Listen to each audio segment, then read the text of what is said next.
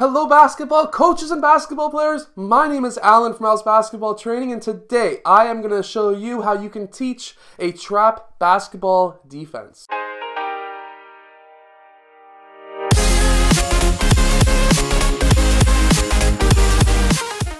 So, basketball coaches and basketball players, if you're new to this channel, on this channel I show you basketball plays, drills, and skills. So, if you like that stuff, hit that like button and subscribe. But right now, let's talk about how you can teach the trap basketball defense. The trap defense, basically, all you need to uh, do is have your players trap the opposing ball handler, the guy who's dribbling the ball, on the sideline at half court. Quickly, let's go down to the clipboard. What you'll want to do is basically trap the player as soon as he gets that ball, he dribbles that ball past half court. You want to have two players on him because then he can't dribble up this way, he can't dribble this way. He obviously is going to have a hard time passing because their hands are straight up and he can't go back over the court this way as that would be an over and back call and that would be a turnover. So that is basically the basics behind a trap. Now to teach it, there are multiple different ways and everyone has a different learning style. So the number one way is obviously you could just share this video with your team. That's one option.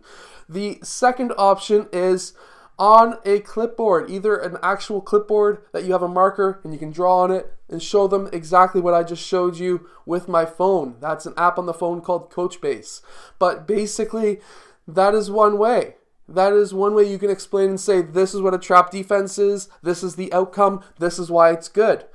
And Going on from there, you can show them the defense that you want to run. The half court trap, the full court trap, whatever it is. So let's go over what a full court trap is. So let's go down to the clipboard. I like to show it on the clipboard because basically, well, it just makes things so much easier. So a full court trap, let's say player blue or the player blue players are the offense. So let's give them a so this would be a 1-3-1 full court press. One player up front, three players in the middle, one player in the back.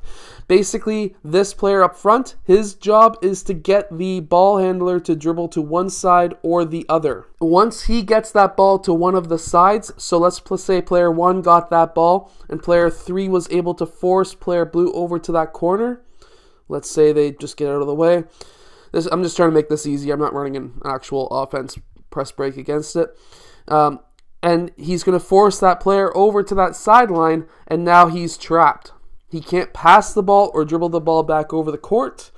And if nobody is open, so the defense would end up running like this. If there's nobody open, then you've got nothing. This player is open way over here, but we could have player five. He's going to pick that pass off. So that is why the trap defense is so good. Now, the only idea is to try and run it successfully. That is the hard part. Now, I always show my players two different ways. Let's go back up to the camera. I always show my players two different ways. I show my players on a clipboard, either an iPad or on an actual whiteboard like a clipboard kind of thing. You've probably seen other coaches use them. Or the other option is running it on the court with your players. I do both. So basically, when I'm on the court with my players, I am walking the first time I'm showing them the press I want to run, I will have them walk through it. No offense, just one ball with one player with the ball, and we're going to walk through it. We're going to show them where the defense goes when the ball is in a certain location. And then we're going to run it with three players. Once three players are running through it, those three players are going to go and run hard against it at first and then after that, we're going to go five players. We're going to go five on five, but we're going to be continuing to run that press defense. Anyone under the age of grade 8, I generally run two different presses. I'll run a full court and I'll run a half court. At the older age groups, the high school age, I'll run roughly two, sometimes three, depending on the level that they're at, two or three press breaks, or I mean press off press defenses and uh, one or two half court. That way we can have multiple different angles at the, the offensive team, the other team trying to beat us. Uh, the other one we can also run is a full court press. That's just basically full court man. I would always run that at any age group you can possibly do that at, just because you want to have the other team run and wear them down. But again, show them in person, show them slowly at first in person, and then also show them on the clipboard. Depending on your team, you might want to show them on the court first and then show them on the clipboard after and then go full speed back on the court again. It's totally up to you as a coach. Myself, I show them on the clipboard, then we'll go on the court itself, go slow, go a little bit quicker with three players, and full speed with five players, five on five. But again, the main thing is to try and trap that player along the sideline. And to do that, there is one drill and one drill only that I use. And let me show you. I'll take you back down to the clipboard. So there's multiple different variations of doing this. This is actually technically two different drills. So you can have a lineup on this end of the court, another lineup as we see here. We can run this on both sides of the court, one going down this way, another one going down this way. And basically we're going to have these two players playing team or playing as a team against this one ball handler. And how we're going to run that is basically if he's going up this way, we want player three to be bringing him and making sure that he wants to dribble towards the sideline. And player four is stopping player one from doing a spin move or just crossing the ball over and going this way. So these players have to stay in tandem. Now, if player 1 does start pushing back against player 4, what we need is for player 3 to start trying to steal that ball from player 1. That is something I wouldn't explain at first. What at first I would just explain, hey, player 3 is the one who is aiming, player 4 is the one who's stopping.